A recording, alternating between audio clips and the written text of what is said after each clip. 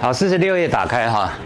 那我们今天的进度大概会把二之一上完，好，不是大概是一定。然后二之二哈会把四组开一个头，所以今天是四十六页到五十五页哦。看起来课本页码很多哈，但其实中间你翻二之一到二之二，它有一些是呃额外的一些补充哈，所以我们这一节课的进度应该还好。那对各位来讲，这一节课比较重要的是哈。有一些组织啊，有一些宗教的，以及等一下会谈到的社会组织，它的时间定位要掌握好哈。那通常跟我们先前讲的中古跟近世的分隔有关，哎，所以你时间轴再拿出来哦。啊，不要忘记中古跟近世的分隔点是安史之乱，对，安史之乱。啊，所以汉末、魏晋一直到唐中叶的安史之乱，这个叫中古。好，那进士的话就是唐中叶后面这一段，以及宋元明清哈。好，那我们从这个点开始谈哈。那我我们上回谈到道教的两个派别，一个是太平道，一个是天师道。那像宗教就是中古时期形成的哦。啊，它跟当时动乱、疾病大流行、人人民感到痛苦是有关系哈。那这两派道教，我们上一节课有谈过哈。有一派后来消失了。啊，被汉帝国整个消灭掉是哪一派？哎哎，答案也在上面啊，答案。好，太平道，太平道哈。好，所以一派后来投降曹操，留下来了天师道。一派是因为跟汉帝国 PK 失败了，所以从历史上就消失了太平道哈。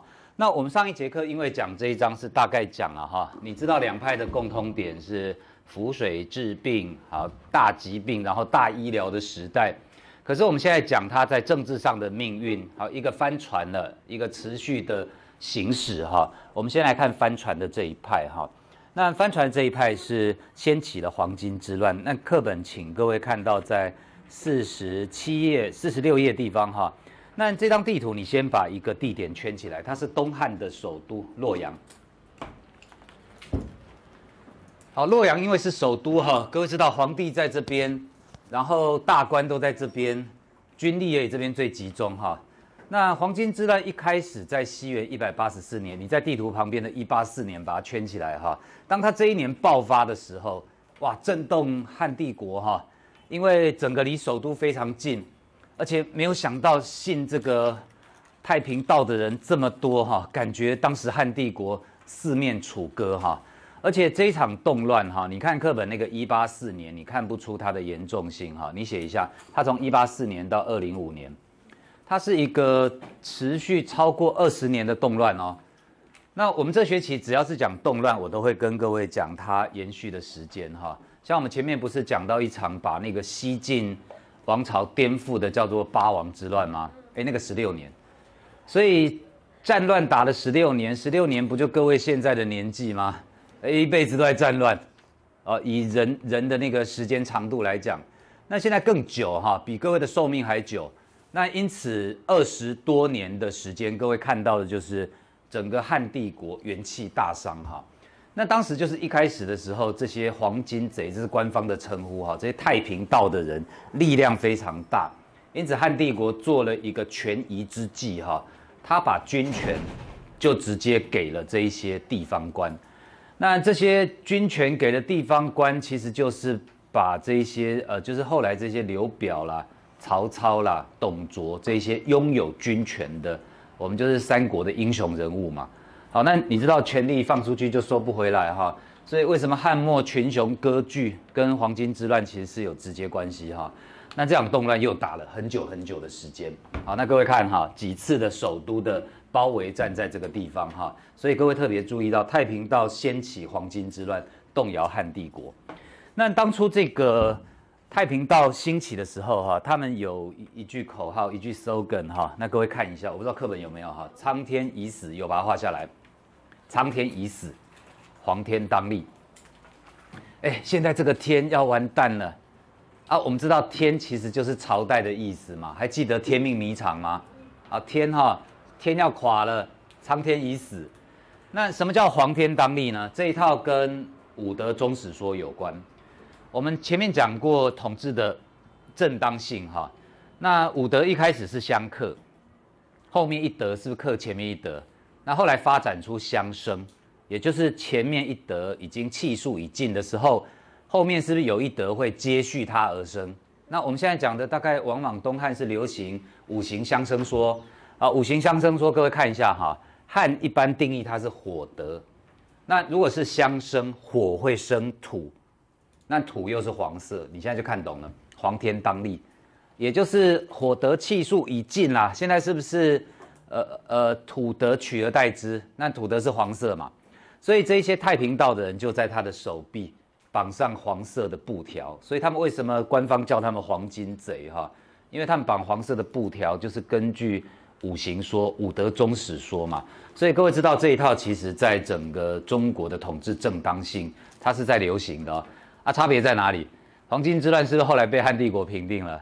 平定我们叫叛乱嘛。可是各位想，如果是另外一种结果，他赢了呢？他取而代之了，是不是？这是他怎么样？革命革命好，就叫革命，然后他是不是就变成另外一个正统王朝了？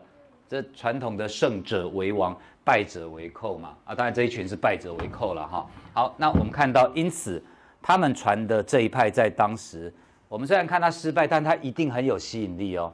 好，因为当时这个几十万人铺天盖地的叛乱哈。好，这一派我们交代他了哈，消灭。那这一派比较聪明哈。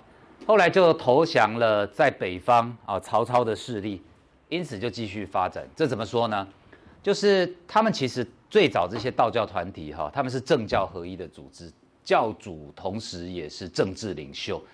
好，所以像这个张冷以及他的子孙先后继承张天师的这个职位哈。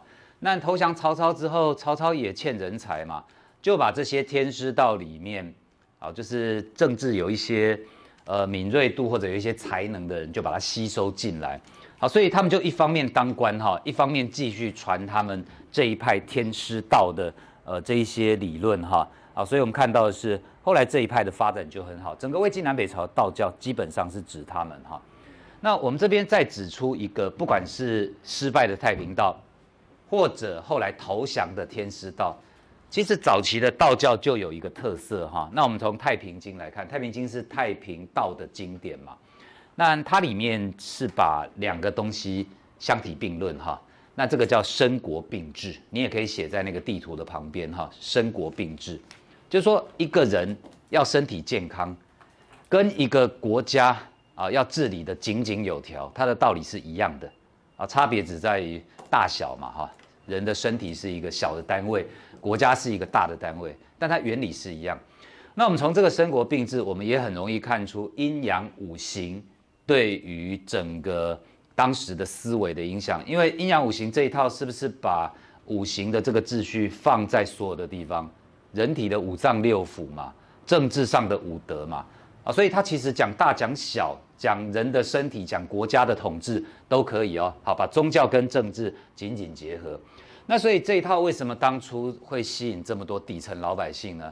诶，他一方面跟你治病，然后说，诶，你的病好了，然后又一面跟你讲这些治国的大道理，然后又说，诶，把你的病治好，跟把国家治理井井有条，其实是道理是一样的哦。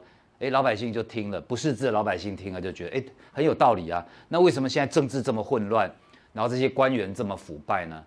啊，所以这些很浅显易懂，同时也可以做一些呃具体的例子的比附哈。好，那这个是中国道教从太平道、天师道，一直到等一下我们要讲的魏晋南北朝这一套都留下来哦，政治跟宗教的结合哈。好，所以你也留一下印象。那再来我们要看的是魏晋南北朝的发展哈。好，四十六页最混乱的这一页我们算讲完哈，也就是政治的过程，各位会比较。呃，难理解了哈。好，请看到四十七页。好，四十七页就是整个魏晋南北朝哈。呃，道教很像是鸭子划水哈，它慢慢的改变自己的形象，它慢慢的让自己从一个叛乱团体，各位知道对政权来讲，叛乱团体是不是就会那个警报大响啊？哎，这个感觉上就是对我有威胁哦。那可是魏晋南北朝道教最大最大的一个转变就是。他从被打压的叛乱团体，哎，变成统治者自己信道教，哎，那我们看这个简直就是这个叫什么一百八十度转转弯哈，甩尾哈，哎，怎么会有这样的过程呢？从平民道教到士族道教哈，那我们来看这个过程，因为它蛮惊人的哈。好，但课本其实有一些线索，请看到四十七、四十八页，我把两段摘录在这边，但都课本文字哈。但他一开始对平民有吸引力，是因为平民从当中找到一些他亲近的东西，什么东西呢？好，平民就埋怨世道不公嘛，哇，政治腐败，这些政治人物都在乱搞。好，那这些对这些人来讲，道教提供某种心理的安慰啊，当然身体也治疗疾病了哈。哦，可是从一开始，它也有一些元素哈，对这些上阶层的统治者士族，可能是可以拿来用的。什么东西呢？哎，修道长长生成仙。我们讲过道教的一个渊源，是不是神仙方术？哎，不死成仙嘛，这个是多少人啊？只要他的人生活得快乐的话，他就希望可以永续下去嘛。啊，所以人如果可以不死，继续的享受人间的荣华富贵，该多好呢？哎，你这边就看到平民跟这一些上阶层 high class 的人想法不一样哈。这些人搞不好痛苦到想要马上死去，上面这一群在动乱的时候，底下这一群是不是还是过他们？呃，物质很很繁华的这种生活啊，好，所以他会希望生命永续下去。那因此，光这一点哈，他就足以吸引帝王啊、富贵之家、士族之类的哈，啊，追求长生的需要，呃，有具体的修道之法哈。那我们在这个地方就看到道教在这里哈，哎，它一下符合平民百姓的需要，一下又符合士族帝王的需要哈。道教其实跟自助餐一样了，就你要夹什么都可以嘛。你今天看到自助，你知道去自助餐的快乐就是你有选择嘛。啊，当然另外一种不快乐是因没有一个想选的啦哈。但是现在道教是属于那个浮华饭店等级的把费哈。哇，看每个都想夹哈，啊，喜欢什么夹什么。所以是不是士族就夹他喜欢的，平民夹他喜欢，大家夹的不一样，但是不是都在同一个把费？这一块里面，好来，道教就是这个特色哈，所以我们讲它的优点跟它的缺点其实是同一件事。我们一开始不是讲它的来源非常复杂吗？所以它要用洪荒洪荒之力把它组织化。好，可是我们看到的是它的好处，就是因为它的成分很复杂，哎，大家各取所需啊，就跟吃把肺是一样的意思哈。啊，体会一下。好，那我们就看到在这个魏晋南北朝。我先讲课本四十七页哈，这一段大家大致上看得懂。好，那因此我就在这边把几个道教从底层走到最上层，最上层就统治者嘛。好，它的几个大的方向哈，因为我讲大的方向，你再看课本会觉得感觉条理梳就是梳理的比较好一点哈。好，第一个，它没有组织嘛，它很散漫，它元素很多啊，所以它就模仿佛教。哎，这两个宗教在魏晋南北朝都是战乱崛起哦。那我们如果以组织来讲，佛教是本来在印度就有一个有形，并且很有系统的组织。什么组织？就出家人的规范，出家人的团体。那这个佛教的组织再来到中国的时候，哎，道教就边看边学嘛。哦，它组织很完整，那我就学它的组织啊。啊，你在读书嘛，看旁边同学，哇，笔记整理很好，那我也学做笔记好了。是不是？其实这很自然的倾向。啊，因为它是同时在发展，然后同时在争取老百姓的支持哈。那如果放在我们今天，就跟 Seven 跟全家一样啊。Seven 如果卖一款蛋糕啊，抹茶的卖得非常好，请问全家如何是好？对啊，就也卖抹茶蛋糕啊。这这种事应该不是第一次发生吧？好，他卖茶叶蛋，我也卖茶叶蛋。啊，然后我还用一种什么特殊的什么铁观音茶叶，好，就赢他一点这样子哈。所以是不是学它，然后再做一点变化？好，这边道教就学佛教的组织，再做一点变化，然后再吸收儒家思想，哈，这一点更容易。我刚刚是不是讲生国并治啊？治国就儒家专长嘛，儒家专业。所以我是不是再把这一些儒家的元素，跟我原来讲的养生之道跟治国之道，本来就是一套道理，再合在一起，哈。好，那这个词请掌握住。中国历史上经过魏晋南北朝。佛教、道教、儒家思想，你侬我侬，彼此化不开了，浓情化不开了。好，因此这个叫儒释道三教合一。儒是儒家思想，释释迦牟尼就是佛教，好，道就是道教。所以如果今天我我们台湾史其实讨论过这个问题哈，是不是去一间庙都搞不清楚佛教还道教啊？反正就民间信仰了哈。这是因为他们一开始就没有要刻意的区隔彼此，反而相互去学习。所以这个特征是隋唐宋元明清啊，包含清帝国来到台湾统治，哎，这个都保留下来哦。再来。确立道教的理论、仪式、组织跟神仙谱系，哈，那我们一句话就是它的组织化。也就是说，道教很本来很散漫嘛，啊，出家人的体系现在把它建立了。然后道教有哪些仪式、哪些组织？然后道教神明超多的哈，各位知道这个一群神明，那我们譬呃譬喻成是一个家好了，也有谁是长辈，谁是晚辈嘛，好，就把这些神明整个列出来哈。以前有人列这个道教的神明是用一间那个公司的那个组织哈去列哈哦，就以道教来讲，谁是 CEO 哈，玉皇大帝哈啊，然后谁是什么位置哈，然后谁是属于那个跑那个跑腿的状态，土地公哈，就是就是位阶整个就是从上到下这样子哈，来组织化。那理论等一下我再谈哈，理论其实就是长生不死这一套了哈。好，再来我们看到第三个，迎合氏族统治者的价值观，啊，就是本来是大家信的这一种，啊，你现在高级化，那你说有有什么差别吗？哎，有哈，如果你在底层平民的，会有一些被认为不登大雅之堂，啊，老百姓觉得可以，可士族就会觉得哇，这些东西好像搬不上台面，我就不要用哈。那我直白讲好了哈，传统道教最早有透过性行为修炼。这这些就被去掉了，啊，反正现在社会新闻有什么东西哈，那些往往都很久以前就有了，好，所以这一些东西就被帝王氏族认为不登大雅之堂，是不是从经典从一些教义的内容就要把它去除掉？啊，所以这是一个进化的过程哈，找我可以用的，把我觉得不好用的去除掉，好，合法化、高级化。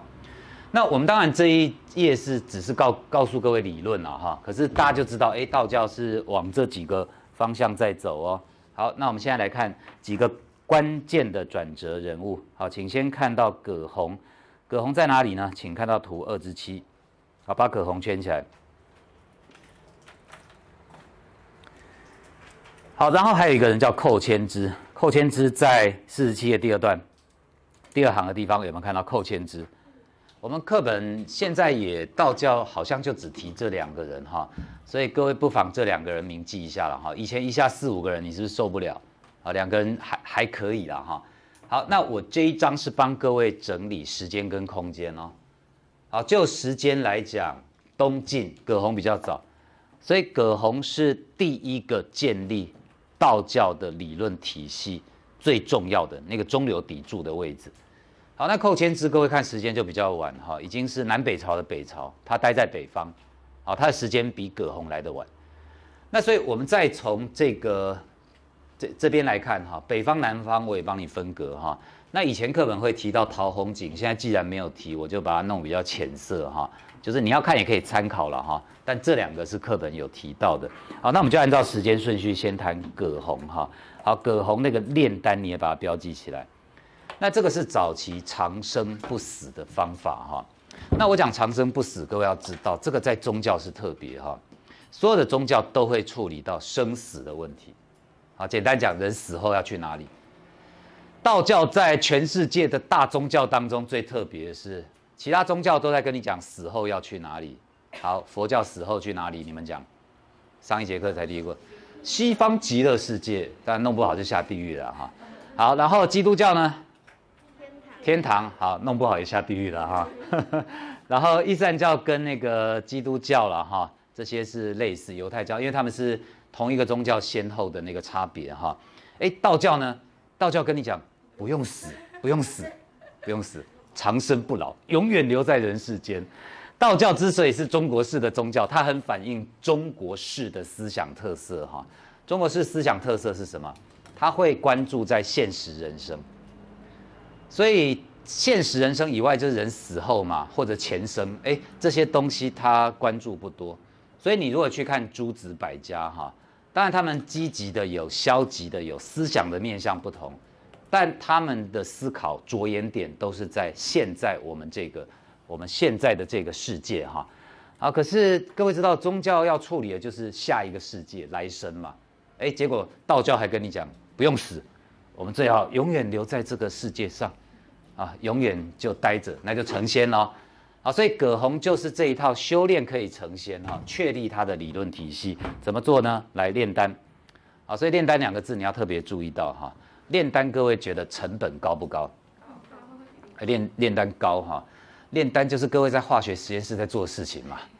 对啊，所以所以他们那些皇帝又吃了一堆什么有毒金属化。对啊，对啊，对啊，对啊，切那汞啊，就是放题嘛哈，吃到饱的概念嘛哈，一直吃这样子哈。呃，不会死吗？你怎么知道不会死？死蛮多人的。好，所以我们看到就是炼丹，第一个你要有那个丹鼎，是不是要有一个炉子？好，然后那一些成分都是很很昂贵的哦。你说铅跟汞是毒物，但它也蛮贵的哦。好，所以你要找到这些东西丢到丹鼎去炼，这一般人成本是负担不起的哈。所以它其实概念上来讲，跟浮水治病一样，都是要延年益寿嘛。可是各位知道浮水治病是不是成本低效果好？好，效果好不好不知道了哈。成本低是真的啊，浮水嘛。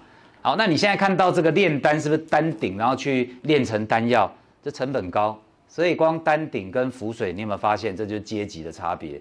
丹鼎是跟氏族帝王有关，一般人练不起。那浮水治病，那些帝王啊氏族又看不上眼，哎，所以这刚好分别阶级哈。所以整个葛洪代表就是道教的高级化哈，这是一个哈。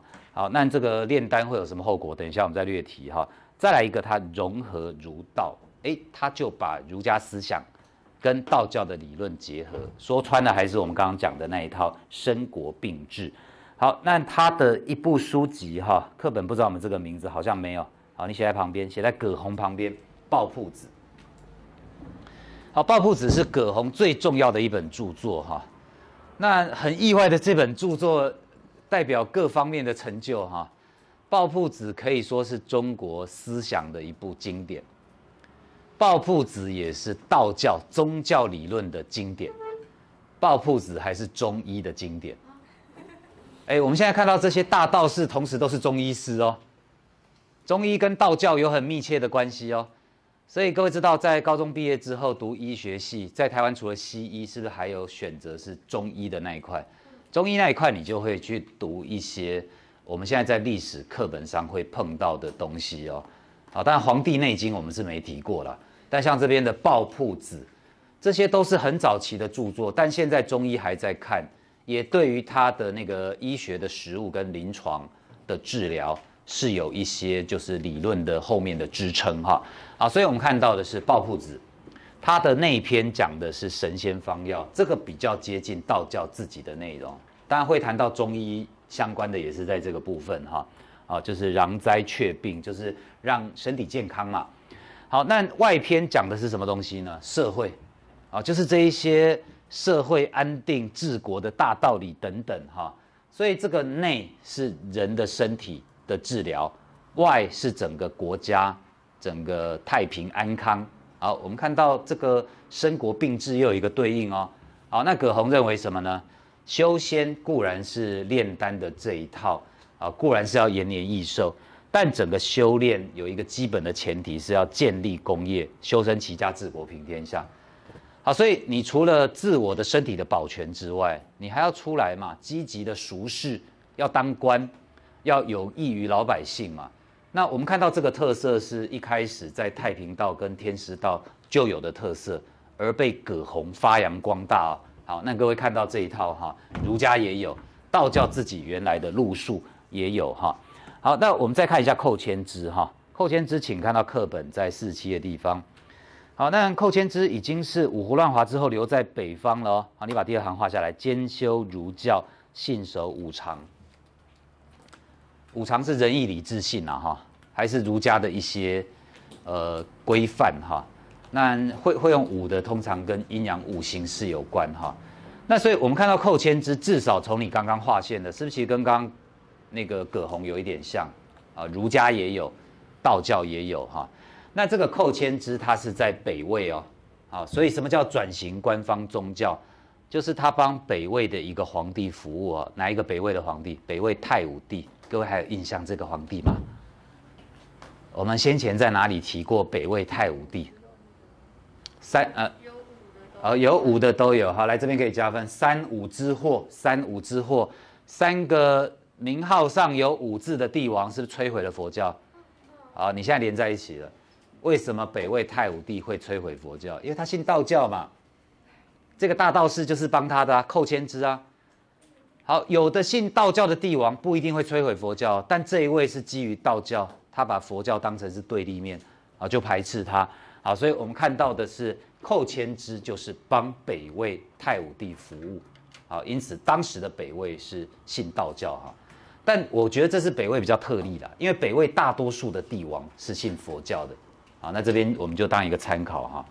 好，那我这边附带提一个跟我们课本无关哈，但我觉得蛮有趣的点哈。魏晋南北朝哈，嗯是是呃名字当中最后一个字有之字的特别多哈，寇谦之，你们还想到谁？王羲之，王羲之的儿子王献之、王徽之、王灵之，然后王家对，就王家的哈之，最后一个都之字。东晋有个大画家叫顾恺之。好，那哎哎是巧合吗？还怎样？是流行，大家都知字。好，有大学者研究出来哈，凡是魏晋南北朝名字最后一个字是之字的，全部都是信天师道的。这是宗教留在他们的名字。各位觉得这一点意外吗？好像也也没有很奇怪，因为释迦。现在是呃，对对，就是释迦，不过那是出家人啊，哈，这边这不是出家人。可是各位知道，现在如果是基督徒，有一些是不是会把圣经的一些名字或内容也反映在他自己的名字上面？我我的意思说，就这个逻辑本身是不意外。但你你会意外的是，你不知道原来这是天师道的啦，哈。好，来知字的都是哦。好，那能研究出来的是大学者陈寅恪哈，我是没有时间谈他，但能够研究出这一点真的很厉害哈。好，那就是一些大道士前后做了一些努力，哎，道教就升级了，变成氏族的道教哈。所以我们这边来看一个道教在魏晋南北朝四百年，哇，简直就是大变身、大转型哈。汉末还是叛乱团体，不是在那边苍天已死，黄天当立。啊，刚才讲哈，我要改朝换代。那我们现在讲的东晋南北朝已经是氏族道教，哇，超高级了哈！光那个丹炉抬出来，就就已经和宾士开出来是一样的意思哈。修炼成仙，建功立业，好，有儒家自己原来这些氏族就有的底，好，再把道教的修炼成仙带过来哈。好，我们再跨一步到唐帝国啊，我是接课本这一段哈，因为他有提到。老子在唐帝国特别受推崇哈，唐帝国其实是把道教视为国教，那这跟刚刚北魏太武帝不一样哦，北魏太武帝只是他自己一个皇帝，他前后都信佛教嘛，可是唐帝国基本上是整个唐帝国都把道教当成是国教，这很特别，为什么呢？啊，他们第一个就说老子、李耳是我们李家的祖先。这随便他讲的啦哈，姓姓李的都一家哈，好，这个答案好，来奉李耳为主啊，所以老子姓李名耳嘛。那各位知道唐代不就是李渊、李世民、李氏家族吗？好，不过这个只要是太久的祖先都不可考了哈，他说是就是了哈。好，那因此唐代既然奉老子为主，然后把道教视为国教，有没有什么在政策上反映的呢？有，有。好像道举，你可以写在课课本老子那个地方哈。道举是我们课本没提到的，道举就是科举当中有帮道教留一块。考道教经典呢，考道德经哎，所以我们都以为科举考试就是考儒家的五经，对，比较大的比例是这样子。可是唐代另外他帮道教保留了一块哦，那这一块就是反映在道教是唐帝国的国教。的这个前提之上啊，如果你有听懂的话，那我再帮各位提到，唐帝国其实后来也有一小段的佛教跟道教的竞争哦。还记得武则天曾经被视为弥勒佛吗？哎，因为武则天是不是要篡唐帝国的皇位？以唐帝国来讲，他是不是篡位者？那既然唐帝国是信道教，他就用佛教跟他对抗。所以宗教跟政治的关系，我们等于是没有放在一起讲，但陆续也提到好几个点哦。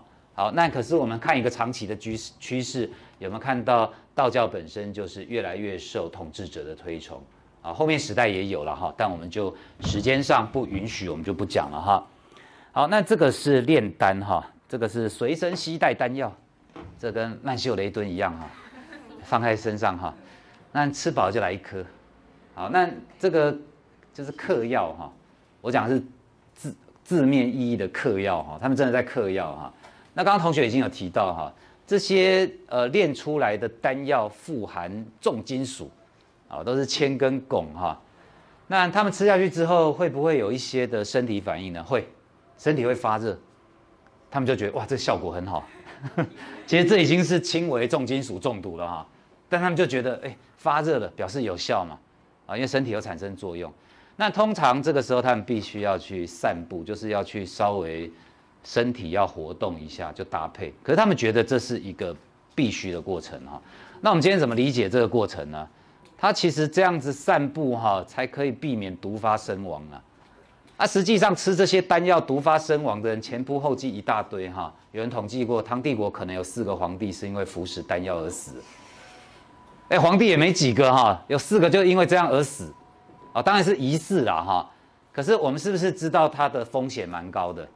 好，所以魏晋南北朝到隋唐几百年的时间，为了延年益寿，最后是搞到小命提早就丢掉了哈。好，那因此我们看到课本在四十八页，请翻开。那这一套当然是早期不死成仙主要的方法哈。好，课本这边你把它加工一下，道教修行的方式啊，原来是炼丹服食，因为目标是长生不死。你注记一下，这个叫外丹。外丹就是把这一颗外在的丹药吞到身体里面，去改变身体啦。啊，目目标是长生不死。好，但我们知道死太多人了，后来人觉得不对劲了，所以大概到进士，就是宋元明清之后，炼丹这种风气就消失了。当然成本太高也是一个原因了哈。呃，后来也没有士族这一群人了，所以课本这边写的后来你把它加上哈，进士。啊，宋元明清之后。就大概炼丹的这一种流行啊，就已经慢慢的走到尽头了，好，开始发展出内外兼修。那特别重视什么呢？好，这句话再来，养神调气之法，好，写一下这个叫内丹。内丹的概念就是把你自己当成一颗丹药来练，练自己全身。啊，各位在操场跑跑步，就是把自己当一颗丹药来练嘛。啊，你在饮食嘛，吃这些养生的东西，也是把自己当一颗丹药来练嘛，所以概念上是相同的哦，但做法上是不一样，啊，比较积极一点了哈，我自己就是一颗丹药，啊，我要把它练到很有效，哦，比较健康，对，啊，这样讲也对，好，那这种比较健康，还不是只有当呃自己的那个什么肢体活动而已哈，人的健康是包含的身体健康跟心理的健康。哎，心理健康也很重要，清心寡欲，淡泊名利，不要随便生气，不要追逐名利，啊，不要什么随便就想要考第一志愿，啊，这这一种哈，啊，地图炮啊，因此我们 好看到就是养神调气之法，好，就是注重自己身体跟心理的健康。那各位知道这一套就没有什么太高的门槛嘛，好，所以也符合近视一个。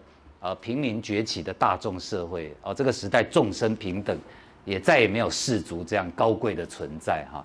好，所以这一些道教的修行方法目标可能是差不多的，啊，可是随着时代的区隔，随着时代的特征，它也会有一些演变哈。那像这一套方式有一个道教的派别哈，我们课本因为后面就简略就不讲哈，你可以写下来哈。像这种什么清心寡欲、淡泊名利、养神调气哈。宋元的全真道就是一个代表，但全真道、全真教，各位就会如果看金庸的，就会想到一些画面哈，就是自己会脑补啊哈，然后是一堆武功高强的人哈。好，可是全真教其实就是道教在近世崛起的一个新的派别。那它跟我们前面讲的天师道最大的不同，就是它比较强调这种内心的修炼啊，我们讲的淡泊名利啊之类啊。啊，所以就跟先前的道教会呈现比较大的差别哦。好，我们这个部分讲完，接着请看到课本在四十九页。好，四十九页是佛教、道教讲完之后，他讲一段民间信仰的部分哈。好，你先把标题写一下。这边的民间信仰，我们先定位它的时间在晋世。进士就是唐后期、宋元明清哦。那民间信仰会蓬勃发展，是因为进士本来就是民间的力量蓬勃发展。就民间呐，经济发达，我们不是讲过这时候开始用货币吗？经济越来越繁荣吗？啊，所以反映在民间的力量，就是也会有一些老百姓自己的信仰跑出来。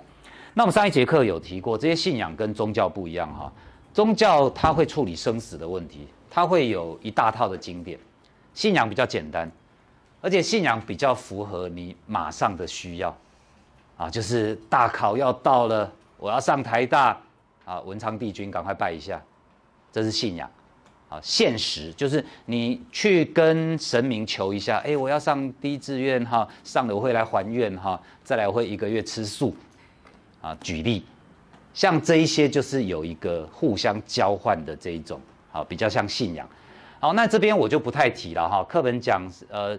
庙宇啊，是整个地方乡里的中心，然后大家去烧香拜拜，是不是顺便联系那个附近邻居还是朋友的感情？因为会在那边碰面嘛。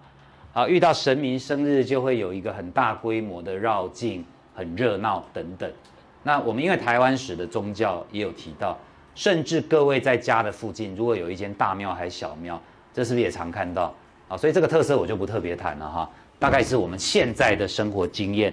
还有的，好，那我们现在要谈的是它跟政治的关系哈，请看到四十九页最底下这一段的地方，好，有两个字，你把它圈起来，收编，收编是这里的关键。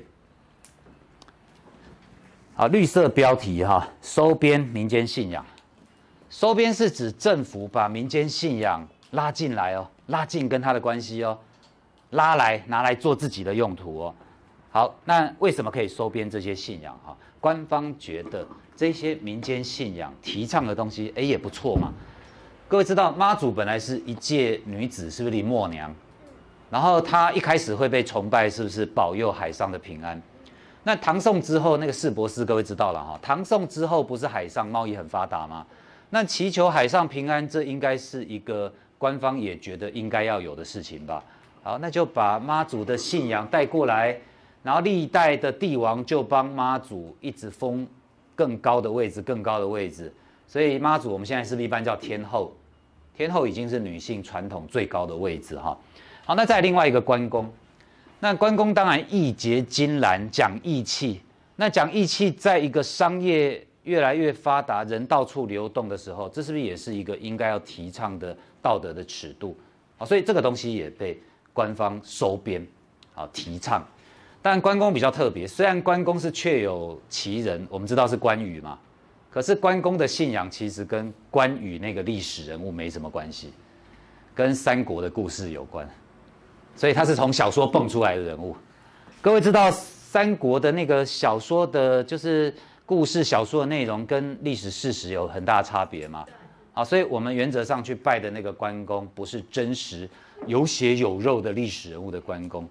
而是虚拟的那个小说的那个形象哈。好，那这一些明清时期啊被推崇哈，关公最后变关圣帝君，各位看也是帝王的形象哦，也是抬到最高了。好，那你把这句话下来，朝廷借由推崇地方神奇，将控制力渗透到地方。那我们把第一章跟这里做一个结合哈。我们知道传统官方派到最基层的官员是不是叫知县？那一个之前我们讲过，他管二三十万人，其实有点鞭长莫及哦。所以今天我如果可以用这种老百姓也信得很虔诚的信仰，然后官方不时就表达我对这些信仰的支持，是不是也可以拉拢民心呐？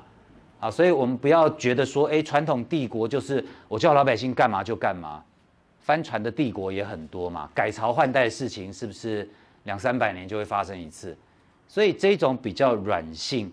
啊，迎合民间的官方如果可以做，他会做哈。像妈祖跟关公的信仰，好，可是各位看到哈，水能载舟，亦能覆舟，因为这一些信仰哈，官方拉拢可以跟民间站在一起。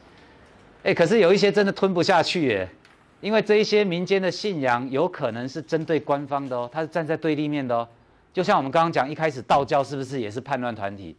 好，这一些民间的信仰也有可能蠢蠢欲动哦，他有庞大的动员能力啊。如果他一旦是埋怨官方、谴责官方，哎，他就有可能变成政权潜在的威胁。所以对于这种就不是收编哈，这种就是直接给他消灭掉，直接打压他。好，什么东西呢？白莲教。课本只有举一个例子哈，白莲教，你翻到五十页的地方。那白莲教会危险，我们上学期有讲过哈，因为白莲教信的是弥勒，弥勒是未来佛，会信未来佛就是你对现状不满嘛，所以你期待改变。好，那对现在的政权来讲，你期待改变，它的警报声又大起了。是不是 我就是被改变的那个朝代啊？所以他会很 care，他就会想要去消灭哈。所以白莲教历代都是叛乱团体。南宋末年他们起来反对宋帝国，蒙古人统治的时候他们起来反对元帝国，后来在清中叶的时候他们也起来反对清帝国。好，清帝国这一场课本有一个专有名词，你画下来哈。清中叶大规模抗清叫川楚教乱。那这个词哈，以前同学都不太理解哈。我现在讲详细版的，你不知道你就写这一行写下来哈。川楚教乱就是四川、湖北，湖北一个字也可以叫楚了哈。四川、湖北的白莲教作乱，教就是白莲教在这里。好，所以你看哈，他宋帝国也 PK 过，元帝国也 PK 过，清帝国也 PK 过，这很明显，只要白莲教先打压再说了哈。啊，所以这个是一个。那我们再看到的是还有一个。好，先把这一行写下来哈。好，还有一个是我们上学期提过，但课本这边没有谈哈，你可以也把它写下来。罗教。好，罗教也会让统治者的警报声大起啊。那罗教跟白莲教有点不同，白莲教是因为他信弥勒佛，我们知道未来佛对现在的政权是警讯。那罗教它是把原来的佛经，各位知道什么《金刚经》啦，哈，呃，《莲华经》这些文言文都很难，所以罗教的教主罗青，他最早是把佛经浅白化，用白话，还押韵哈，跟我们现在流行歌曲的歌词一样，一句一句是可以唱的哦。那很多人信了罗教，以为他在信佛教，因为其实他都是原来佛经的观念，他只是把他的形式。弄得很浅白，押韵，是不是一般老百姓要接受就很容易了？它符合这个民间蓬勃发展的时代嘛？好，所以它不是佛经，它叫宝卷哈，但概念上是相同。那对政权的威胁来讲，它不像白莲教动不动就会起来什么反抗政府等等哈。可是第一个，它对正统的佛教有威胁，所以佛教会借由政治力去打压罗教，因为品牌相近嘛，大家讲的都同一套东西。啊，它吸引力更好嘛，因为它用更浅白的方式吸收更广大的群众啊。好，再来一个，罗教后来也跟白莲教扯上关系。好，所以扯上白莲教又扯上叛乱团体。那你说罗教不是罗教，白莲教是白莲教吗？但这一些民间信仰的特征就是 freestyle，它可以自由连接。啊，他想跟谁串一下，连一下。啊，那连起来之后，官方就会认为他是叛乱团体哈。好，那这个是我们在这边也帮各位解释哈。好，我们二之一讲完了。那表格你来不及抄，拍一下，我们先跳到第二节哈，因为我要先开一个头，等一下我们下一节再讲的时候会比较快哈。来，翻到五十四页。好，表格待会再抄哈，剩五分钟下课了。我们在二之二哈，我们接续来看的是，呃，宗教以外的社会组织。那课本的标题之所以用形形色色的原因，就是太多了哈。那这个太多，我觉得对各位来讲，二之二就是 detail 很多，很琐碎，然后你会记很多两个字的名词，但其实你记不起来。好，那因此第一个，在五十四页的最上面这个时间轴。好，我们刚刚上课是不是讲中古是一个大段落，近世是一个大段落？好，你现在把这一些二之二会有的名词全部丢到这一些大段落。所以中古有士族嘛，啊，人上人，那近世也有宗族，宗族跟氏族有一些基本的不同，但他们也都是血缘的联系的，就是家族的组织了哈。好，第二组是商业组织，同一种性质，我用同一个颜色哈，这样各位比较好对照。